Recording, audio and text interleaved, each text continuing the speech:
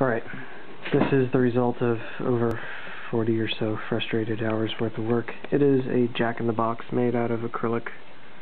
Um, what it's supposed to do is when I push this button here, uh, the little guy is supposed to move up and lift the lid. Uh, it doesn't quite, quite do that perfectly. Um,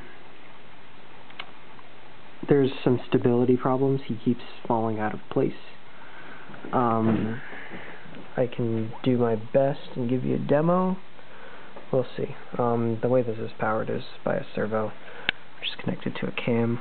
I had to hollow out that hole for the cam with an X-Acto knife. That was a lot of fun, because the laser cutter wouldn't make me a new cam.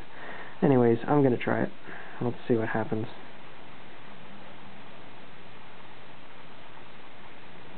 Probably going to fall over. Yeah.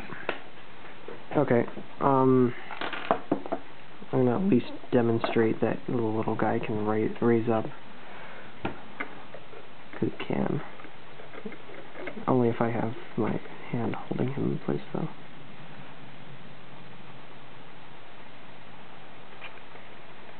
Unfortunately, I'm running out of hands for the camera and the button and holding it in place.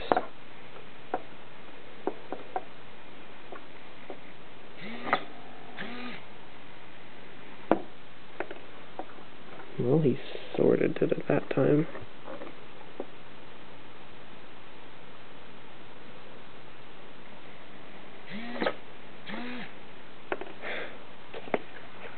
It's about the best I can do. I've put a lot of hours into this, but design just wasn't perfect. See ya.